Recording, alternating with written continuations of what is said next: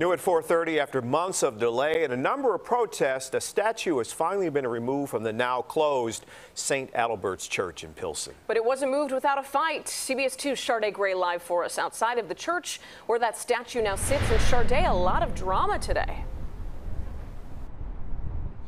Exactly, Jim and Marie. And that statue is now safely inside St. Paul's Church, but there was a lot of commotion to get it here.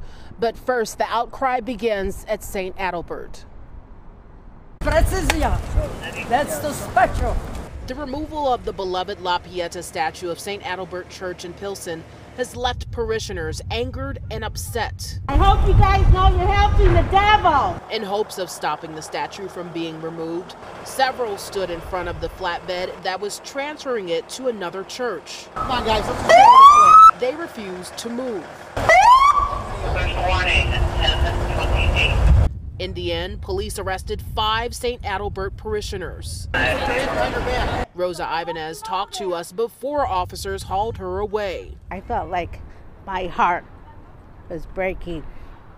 A part of my soul was breaking because they don't need to do that. The parish has been trying to move the statue since late August, but the plan to do so was stalled due to issues with permits. It's emotional. I mean, being born and raised in this community all my life, a parishioner here, a choir boy, uh, you know, I played the guitar here all my life, and I, I saw my siblings get married in this church. It's an emotional day. This 6,000 pound statue, a marble replica of Michelangelo's Pieta, went to St. Adalbert Catholic Church to St. Paul's Catholic Church, which crews ran into several issues of getting the statue into its new home. The Archdiocese says in a statement it was the decision of the people of St. Paul Parish, which includes the former St. Adalbert Parish, to move the statue to their active, vibrant church. The Archdiocese also tells us the statue will replace a previous statue inside of St. Paul's Church.